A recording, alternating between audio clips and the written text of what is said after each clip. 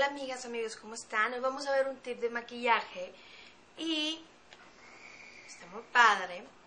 Vamos a aprender algo sobre el rubor o el blush y se trata de lo siguiente. Miren, el rubor o, ah, ¿cómo le dicen ustedes? No sé qué rubor, blush. Bueno, para maquillarnos aquí, ponernos colorcito. Este se aplica en dos partes.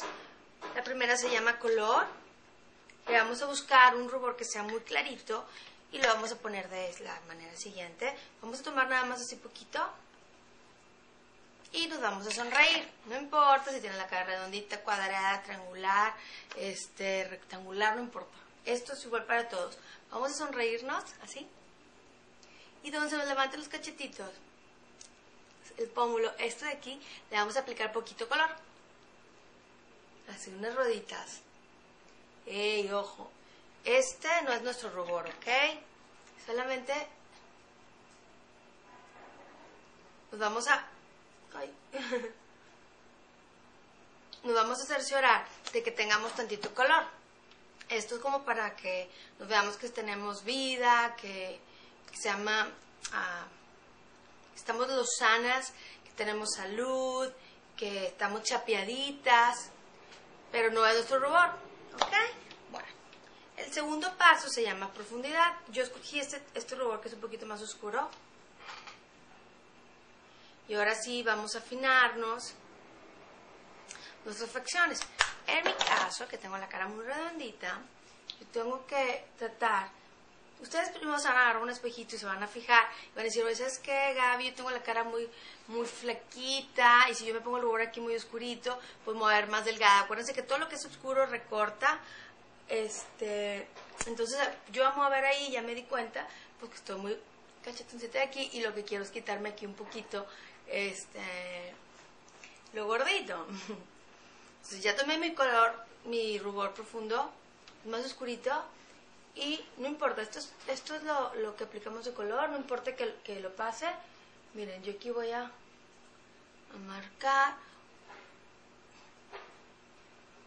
Hey chicas, chicos, nunca se pasen de, de esta comesura de sus labios hacia abajo, de, de aquí hacia abajo, no se aplique el rubor, ¿ok? Tengan cuidado, porque muchas veces aquí, cha, cha, cha, cha, y aquí rojo y eso no existe, ¿ok? Bueno, voy a aplicar más producto para el otro lado. ¿Y se acuerdan lo que dije? Mira, ya se van viendo, lo, cuando es más oscuro, que es profundidad, se ve más delgado. Aquí voy a empezar. Porque yo le quiero poner color más, que sea profundo, que sea más delgado a esto, pues para que mi cara esté más estilizada. Ahora, otro tip que les voy a dar, muy padre, es que siempre, siempre, siempre, siempre, siempre que terminen de ponerse el rubor, se pasen por la nariz, la brochita, por el poquito que les queda aquí, esto aquí arriba.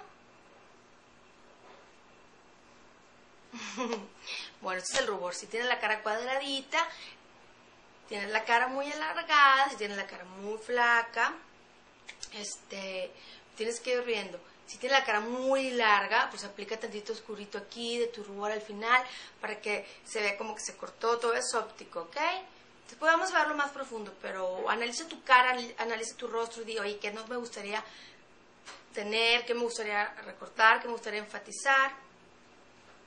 Entonces, esa es la manera de poner el rubor, que dijimos que es en dos, en dos tipos de colores. Uno es uno muy clarito, nada más que se ve así como que tienes vida, que no estás enfermita, y el otro es para darle profundidad y recortar y que crear el drama de nuestro rostro.